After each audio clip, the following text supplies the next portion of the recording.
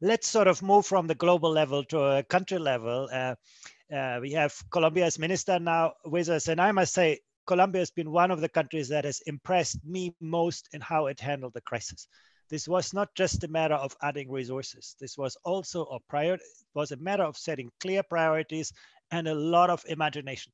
When you found out, you know, you don't have, you know, access to computers, you went to mobile devices. Uh, when you found out that, you know, in large cities, young people didn't have, you know, the bandwidth and the, the connection, you made access to educational resources online for free by working with a telecoms uh, organization. I think a lot of imagination that shows actually the problems can be challenged.